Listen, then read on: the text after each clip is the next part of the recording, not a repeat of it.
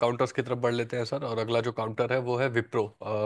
विप्रो के साथ हमने ये देखा सर इन्होंने एक पार्टनरशिप की है, मारेली कंपनी के साथ एक्सटेंड किया है बेसिकली अपनी पार्टनरशिप को आने वाले चार सालों के लिए, जो इनके आईटी इंफ्रास्ट्रक्चर प्रोजेक्ट्स के लिए मारेली के। ये एक ऑटो सेक्टर की कंपनी है जिसके साथ इन्होंने ये पार्टनरशिप की है। कैसा लग रहा है सर विप्रो? और हम देख रहे हैं उसके अलावा भी आपको कौन से आईटी काउंटर्स पसंद है? क्योंकि आईटी इंडेक्स में हमें अच्छी खासी तेज़ी पिछले कुछ दिनों से देखने को मिल रही है। तो विप्रो पे आपका क्या व्यू है? और इसके अलावा और कौन से आईटी काउंटर आपको पसंद आ रहे हैं सर। तो देखिए हाँ, मैं बिल्कुल एक अभी कल दिखाऊँगा आपको चार्ट दिखाऊँगा निफ्टी आईटी का। पहले तो ये समझ लें सारे दर्शक मैंने पहले भी देखिए मई के बाद से जून के फ़र्स्ट वीक से मैं जागरण बिज़नेस में लगातार ये शेयर कर रहा हूँ कि निफ्टी आईटी को खरीदिए आईटी कंसल्टेंट को खरीदिए। देखिए कितनी बड़ी रैली देखने को मिली। अब एक फ्लैग पैटर्न का ब्रेकआउट आपको देखने को मिला है आईटी पे। हो सकता है थोड़ा सा गिरावट आए लेकिन अगर वो पैटर्न सक्सेसफुली ब्रेकआउट ब्रेकआउट हो जाता है एक सप्ताह के अंदर तो आपको बड़ा मूव आईटी के अंदर देखने को मिलेगा।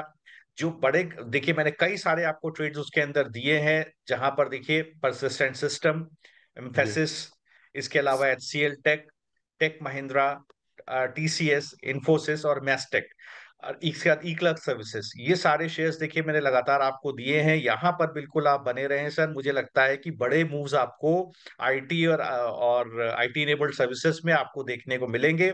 विप्रो के अंदर देखेंगे आप। तो सर बहुत अच्छा चार्ट बनता हुआ दिखाई दिया है। कंसिस्टेंटली हायर हाई स्टॉक बनाता हुआ चल रहा है।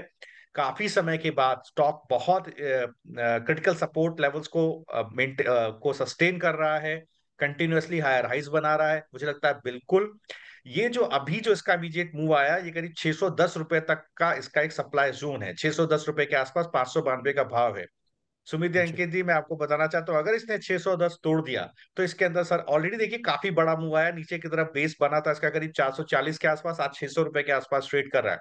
610 के ऊपर निकल गया तो ये अपने ऑल टाइम हाई को छुएगा 730 रुपया। तब आप बिल्कुल मैं सभी को कह रहा हूँ बिल्कुल सर इसके अंदर बनी रहेगा अभी भी आप अगर मान लीजिए आप थोड़ा एग्रेसिव हैं और आप एग्रेसिव कॉल ले सकते हैं तो पाँच रुपए का इसका डिमांड जोन है। पाँच सौ पिछहत्तर पर एक आप अपना डिमांड जोन मान के चले उसके नीचे खिसके तो बेचे। पाँच सौ हम्म नब्बे पे खरीदे 610 के आसपास थोड़ा सा वैसिलेट कर सकता है। इसके बाद हम्म। 730 के टारगेट आपको देखने को मिलेंगे।